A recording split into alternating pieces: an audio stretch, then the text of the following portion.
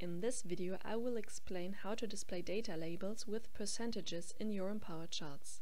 For this purpose I have prepared this chart. Basically you have two options to adjust the data labels. If you navigate to the data labels menu in the action bar above the selected chart, you can make global settings for the data labels in the entire chart.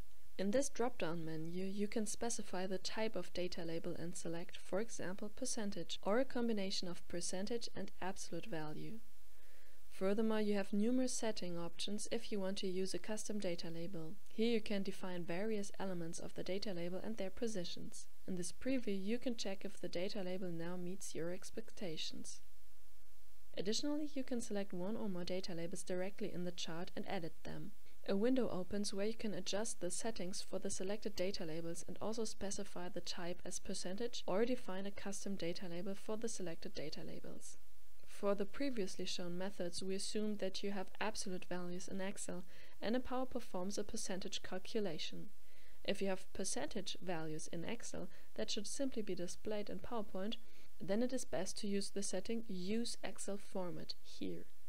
If the numbers in Excel do not have a percentage sign but should still be treated as percentage values, you can add a percentage sign through the free text, which you can write with or without a space behind the values. Thank you for watching and goodbye.